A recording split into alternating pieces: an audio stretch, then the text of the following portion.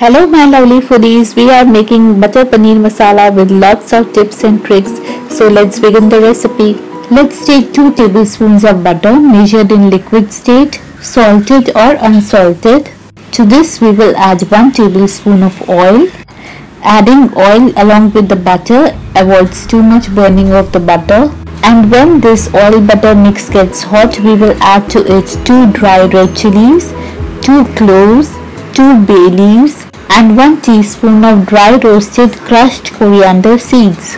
We will roast or saute these dry spices in this oil for about 30 seconds on medium heat and then add 1 4th teaspoon of cinnamon powder, 1 4th teaspoon of green cardamom powder, 1 4th cup of cashews, then again 1 4th teaspoon of black pepper powder.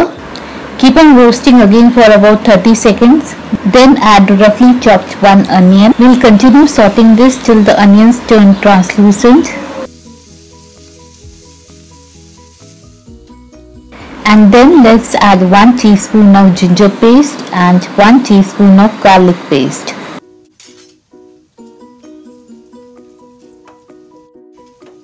Continue sauteing at a medium heat for about a minute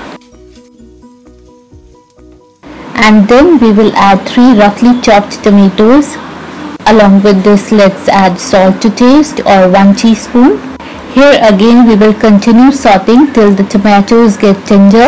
Meanwhile let's add to it 1 teaspoon of coriander powder and half a teaspoon of red chili powder. We will keep on sauteing this masala till the oil oozes out from it and now tomatoes are tender and mashed. Oil has also oozed out from the masala gravy. Let's put off the heat and let it come down to the room temperature. Meanwhile we will cut the paneer. We have taken 250 grams of full cream paneer. Let's cut this in medium size cubes. We are done with this. Our masala has also come down to the room temperature.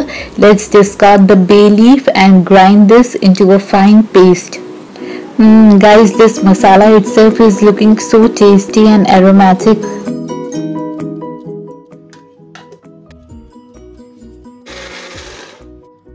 You can add a little bit of water if it's too thick to grind. And the paste is ready. Now take a kadhai or any other vessel to it add 1 tablespoon of butter along with 1 tablespoon of oil no need to heat it, straight away add the made paste. We'll cook this masala paste in this butter oil mix for about 2 minutes. Keep an eye on this, continue stirring in between otherwise it might stick to the bottom of your vessel and then we will add 1 cup of water to it. After this turns to a nice gravy, let's add pieces of paneer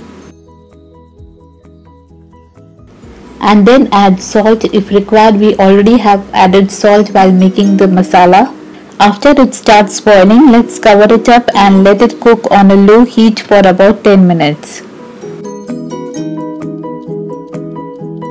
Mmm, butter masala paneer is ready. Let's put out the heat and add to it 1 tablespoon of fresh cream. Never add fresh cream to your boiling hot gravy otherwise the cream might curdle so always put off your stove before adding the cream. Then we will sprinkle 1 teaspoon of kasuri methi that's dry fenugreek leaves. Give it a light stir and it's ready to be served. Ah, but before serving, let's garnish with 1 tablespoon of fresh cream. It looks good, isn't it? Butter paneer masala goes great with naan or paratha.